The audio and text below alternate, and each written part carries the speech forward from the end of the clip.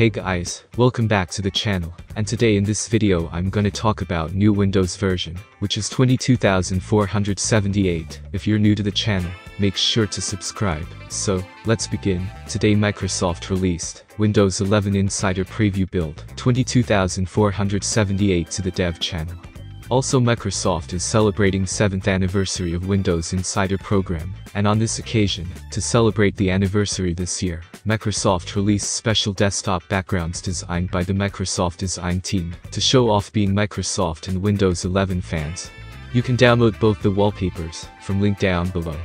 Talking about this release, it comes with new Fluent emoji, Back in July, the Microsoft design team announced refreshed and new Fluent designed emoji that would roll out across all of Microsoft 365, including Windows. You can now access new Fluent images by pressing Windows plus dot key on your keyboard. Microsoft also made some small adjustments to the dialog when adding a new language and settings to make it look a little more modern, including rounding the corners.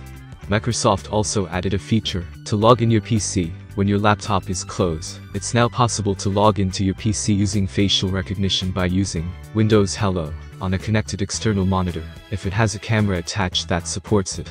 The updated version of the Korean IME, which began rolling out with build 22454, is now available to everyone in the dev channel. Microsoft also made a change to the underlying indexer platform to help improve overall reliability and database size, which should help reduce disk space usage on the system, particularly in cases where users had very large Outlook mailboxes.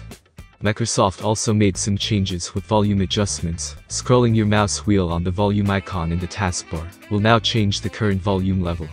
So, that was all major updates and features that was related to this particular new build. It also does have some additional improvements, about which you can read from the official Microsoft blog. Link to the blog is under video description.